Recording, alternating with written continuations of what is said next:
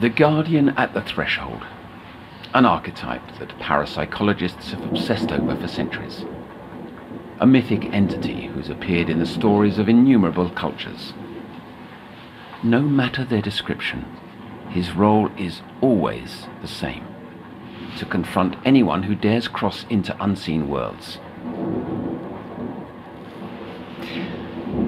In our last session, he spoke to her or through her. Even when I listen to the tape, I can't be certain what I'm hearing. Still, I've repeated his words like a sickness ever since. It went like this Cross the sill, sink in a twinkling, cast aside the old sleep, to sleep again anew. The candleman, the ferryman, indeed the guardian at the threshold an eidolon on the inside, determined to keep me out.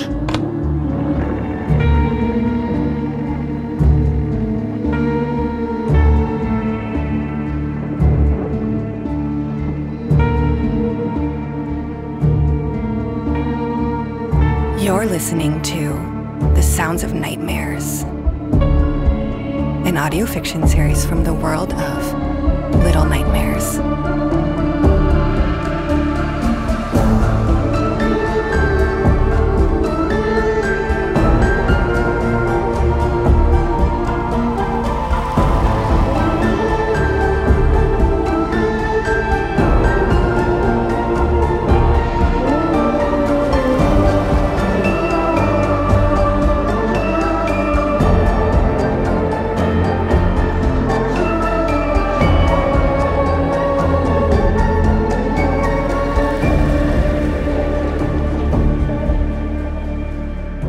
Chapter 5 A Deluge of the Inevitable.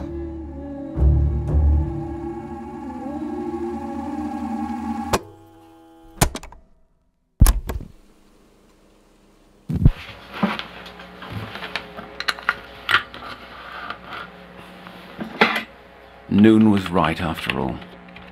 I noticed something off while reviewing the EEG and reluctantly sent her up to radiology. At first, I doubted the validity of the results, but the technician assured, curtly, that Noone's scan undeniably shows a pea-sized tumor on the right-sided amygdala. They maintain it's benign, despite the unusual ocular appearance.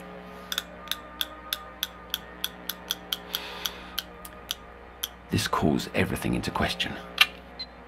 The mass's location could impact fear response, emotional salience, and damningly, dreams. And yet, I cannot deny all the evidence to the contrary.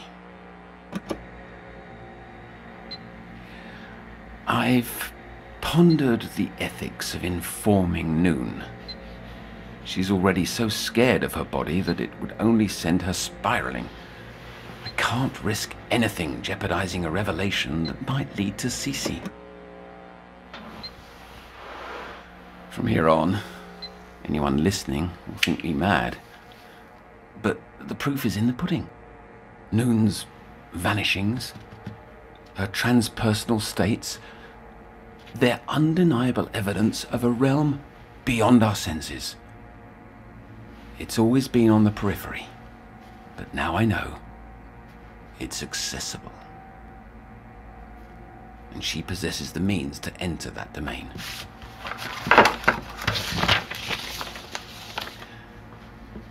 My professor's paper posits thus. There are two requisites for entering the quiddity of consciousness. First, a gateway, places hidden amid our world. Second, a means to open these doors. And I assert that keys are primarily cut out of fear. Hmm. Either I lack his erudition or his mania. My only hope lies in completing my labors. I've not slept in weeks. And if I cannot dream as she does, I'll never know how to enter this nowhere.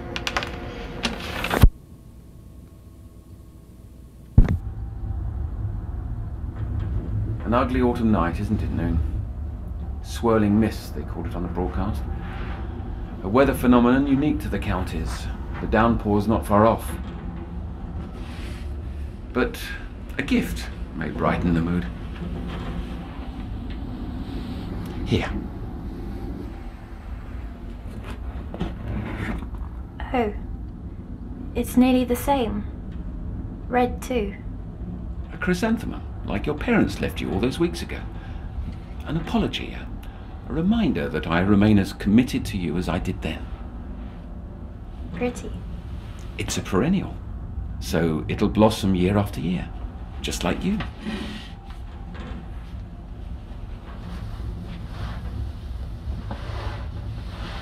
I think I'm ready now to talk about my mum and dad. Oh, and why now? What's changed? Because I feel like I'm beginning to forget, and maybe talking will help me remember. Because you've been away so long, or you literally feel you're losing your memory? Um. More like I'm losing a part of me. I can't tell. Am I the girl here or the one there? They're one and the same. Given all you've told me, they must be. It's not you that's different, but the physical space around that. that- I said I want to talk about my mum and dad. When most kids have nightmares or whatever these are, they go to their parents to feel better. Here, I relive them again and again. And it's all you want to talk about because you think you can find Cece through me. Noone. The only way to find answers is to discover where you go when you sleep. Talking about your parents would be wasting the hours. Aren't these sessions supposed to be about me? Always. But I've no say, no control over how I feel or what I do. I don't even belong to myself. I'll do as you ask, but promise me. No wires hooked into my head. No machines. Not tonight. No machines, promise. I think you'll enjoy what I've got planned.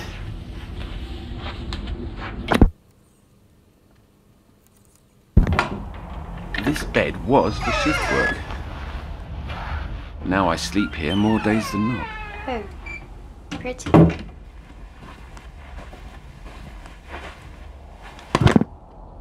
I'd like to try a sort of role reversal. I'll lie here, blindfolded, depriving my senses to enter a self induced hypnagogia so I can focus on your words. You'll recount your latest visit, and I want you to try as hard as you can to project your dream into my head. I don't think it can work, but I'll try. That girl in the photo there. That's her, your daughter. My sister. Oh, you don't look much alike. I'm I, I'm settled. Blindfold on. Carry me away with you, Noone. I couldn't see anything. Slow down. This is vital. Speak as if you're trying to pull me in. I floated through a darkness with nothing at my feet. Then it all faded and I was somewhere new. An underground brick tunnel with a stream of thick sludge passing through a canal at its center. I can still hear it. Jangling keys. Squeaking metal. Do you hear, Otto? I. I can't. But keep trying. It came from a kid in the distance, struggling to shut a grand iron door. The last thing I heard before the slamming shut was laughter.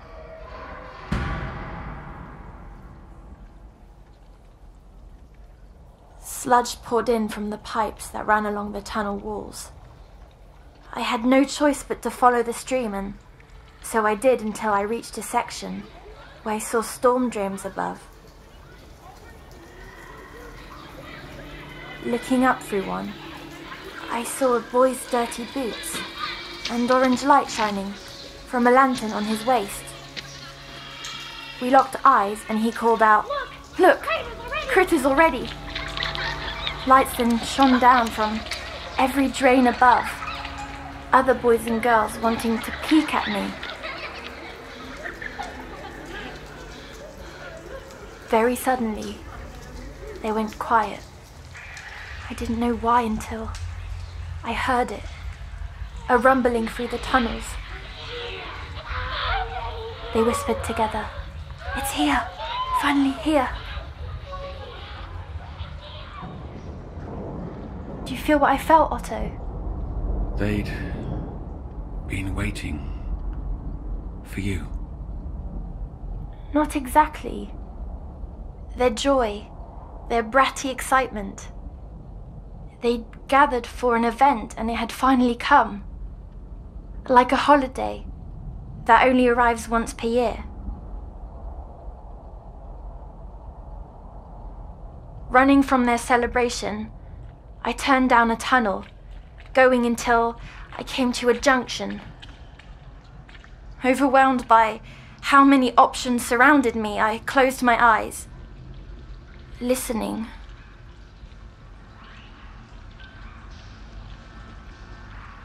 The sound came from the path to my left. I waited, watching from a distance as someone crossed by the dark tunnel mouth. He carried a strange gadget, and every now and again, its buzz turned to some beeping, detecting secrets in the waters. I hardly noticed the rest of him, but I got a look before he crossed out of view. He carried a heavy sack over his shoulder, and things squirmed inside. But he was gone as quick as he'd appeared.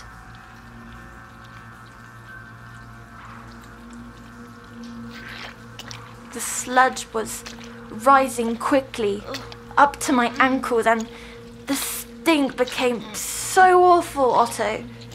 Imagine it waste filling your nose. Then, across from me, a small pipe became blocked, stopping the sewage. A grey mass poked through, jammed in tight, wiggling to get loose. But not until it fell into the sludge did I realize this tiny thing was alive. It picked itself up and swayed about, curious of my company the head was was shaped like those cone mushrooms that grow out in Hatefield. I inched closer to the little mushroom fairy, and it began mimicking me, as if we'd been old friends. A friendly presence. The first non hostile being you've met that wasn't another child. Yes, he belonged there in that world. Part of it rather than a stranger like me. Is. Is it working, Otto? Can you see its little mushroom head? I think so. Maybe. Keep going. Yes. Drift away, Otto. Drift away.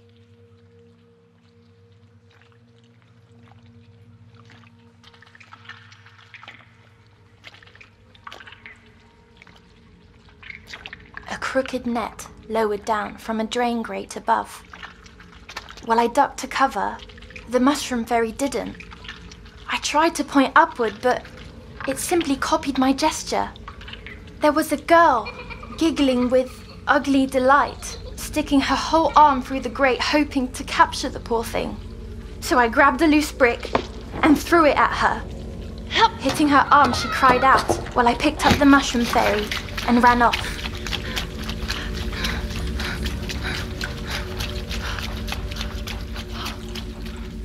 After we were well clear, I put the creature down.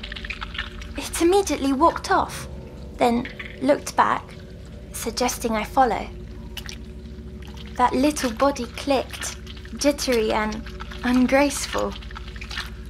Somehow the thing seemed to know where it was taking me, stopping only once we came to a rusty door leading to a maintenance room. Entering, though, I discovered something else entirely.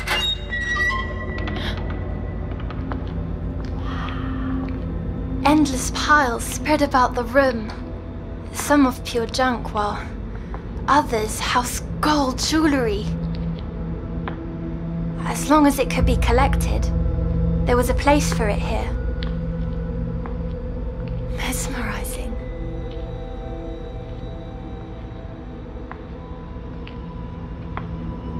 Only after examining a mound of keys did I understand where this stuff came from. Everything in this room had been dropped down from the world above over the years.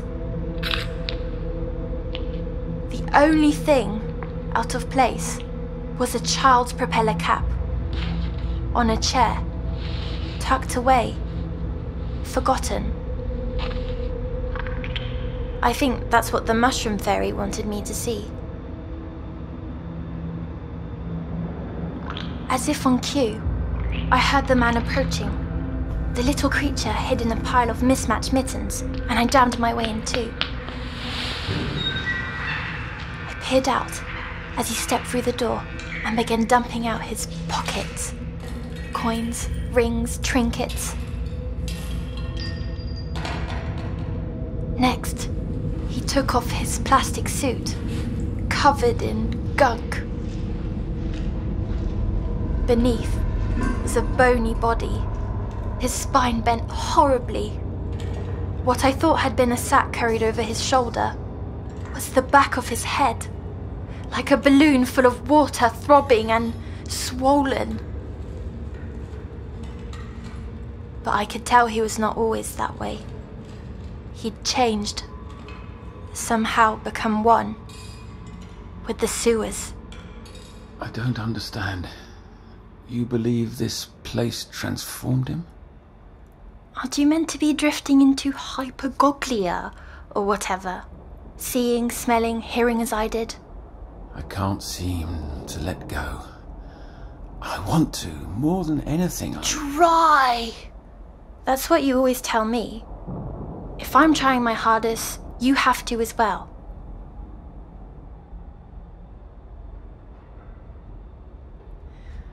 From the corner of my eye, I noticed the little cone sneaking away. The balloon headed man was inches away, and in that moment, I thought of Jester, of the child with gooey hair, of Rusty. I couldn't do nothing, not again. Thankfully, that rumbling from earlier returned in that moment, stronger than before. The shaking destroyed the man's piles, startling him into an odd anger. So I stumbled out from hiding and bolted for my mushroom fairy, then out the door. I ran and ran, and, and though the man wasn't very fast, that didn't matter. He had his gadget, and that buzz followed wherever I went. Any sense of direction washed away with the sludge that was now up to my knees. Turning down tunnel after tunnel, I stopped, hoping I'd lost him. All at once, those lanterns shone from above.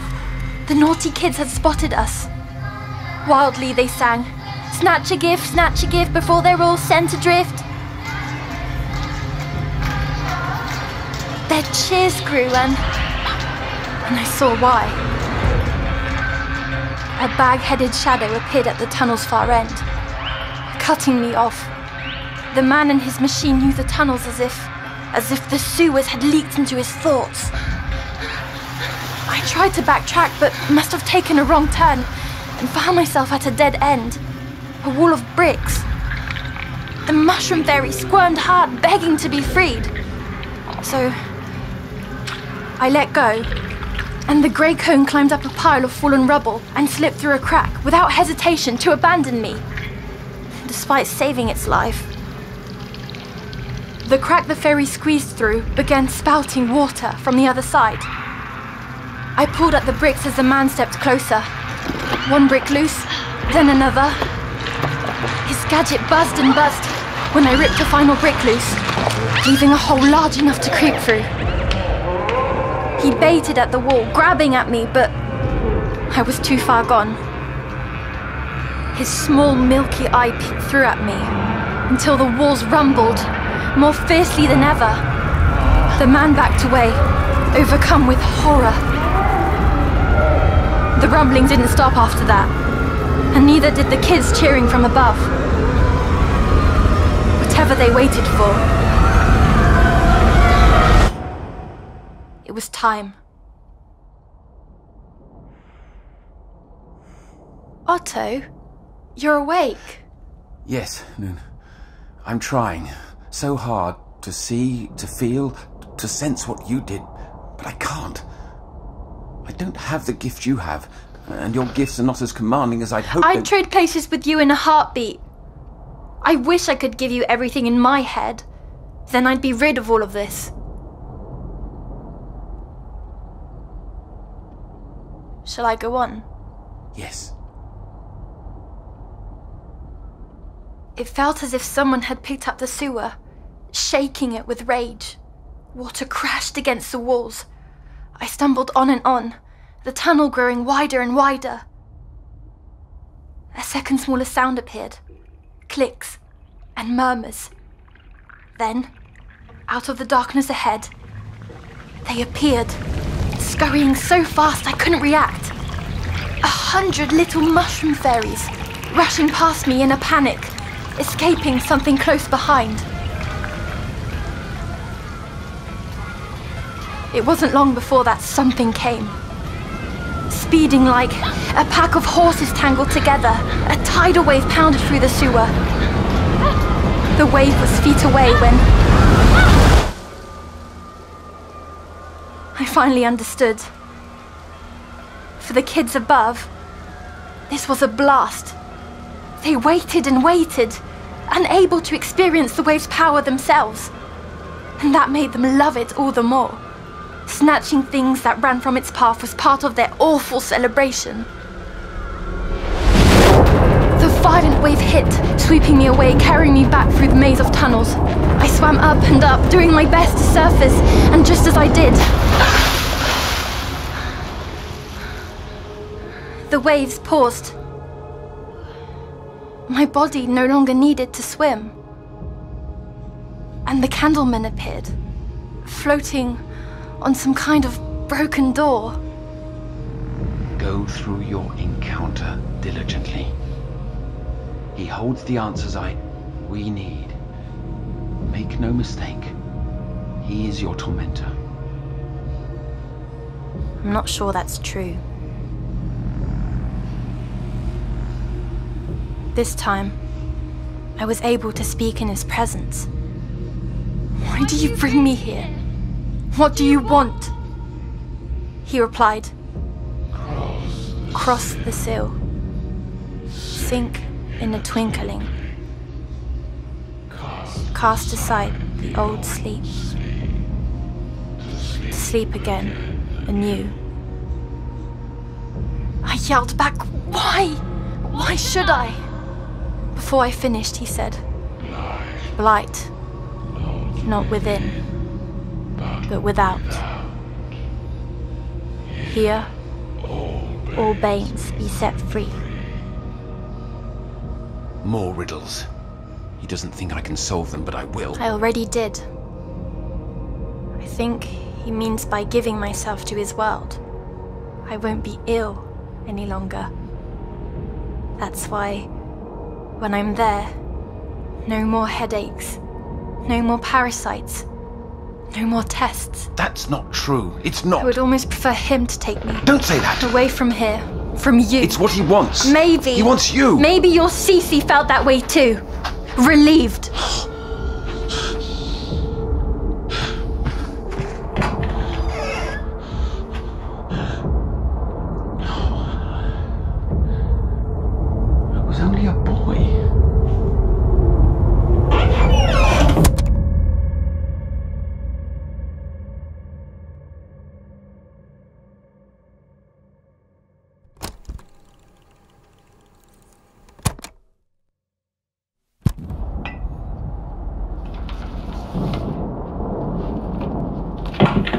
We're done tonight.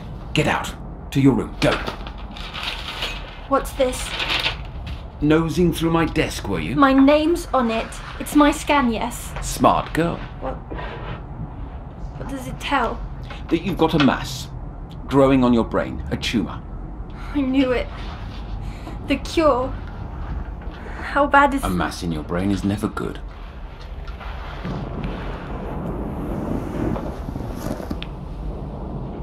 Should have told me. Why? Why didn't you tell me? It's not my practice to tell before necessary. Now, get to bed. Fine.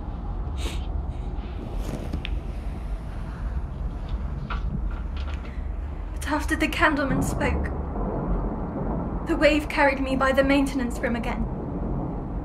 The bag headed man looked through a window, terrified. He was opposite to those kids above. Living down there, he, he'd no reason to celebrate the wave. Instead, he cherished what they dropped down by accident. You see, each wanted what the other had, but could never have themselves. I'm taking two sweets tonight. Take as many as you want and leave.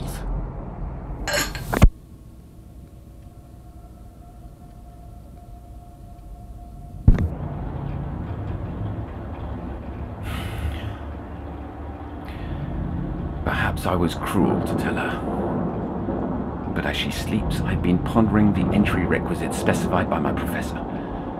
I believe he was only partly right. One need only look at the theatre of agony that the ferrymans created to understand fear is an essential requirement.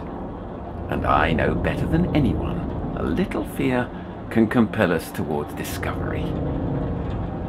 As for the gateway's location, perhaps it's not a place hidden in our world, but in our minds.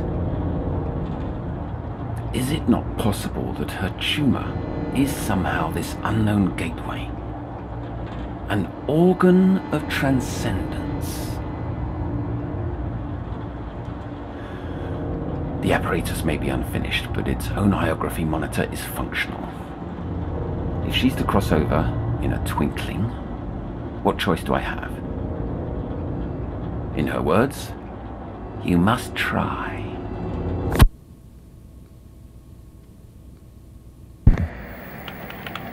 She hardly stirred at all while I pathed the BCI.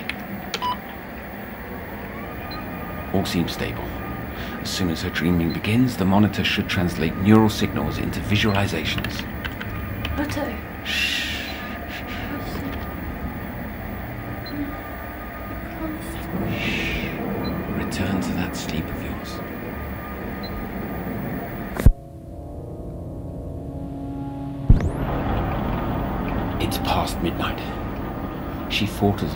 Could, but finally succumbed.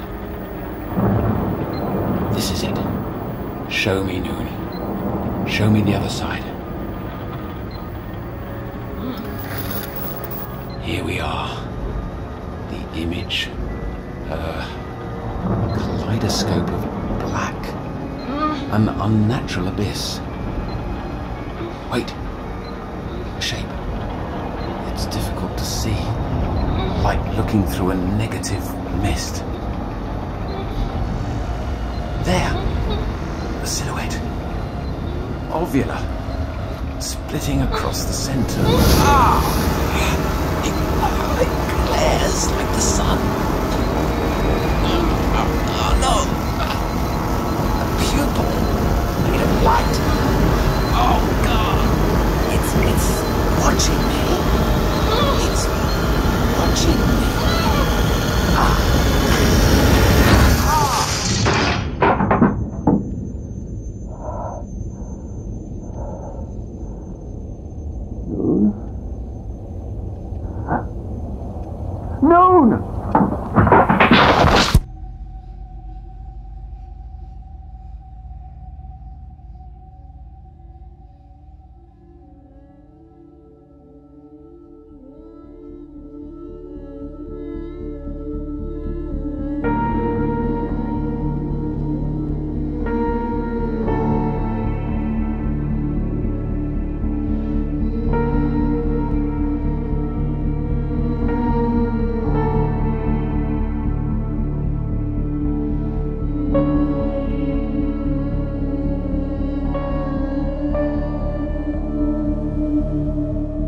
just listened to the fifth episode of The Sounds of Nightmares.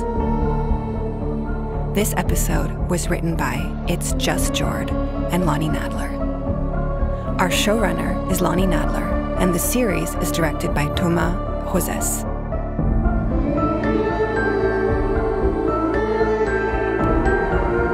Noone is played by Amy Purshouse, and Otto by Kester Lovelace. Music created by Tobias Lilja and Thomas Rosès. Production supervised by Alize Debar and Lucille Rousseau Garcia. This series is based on Little Nightmares from Bandai Namco Europe.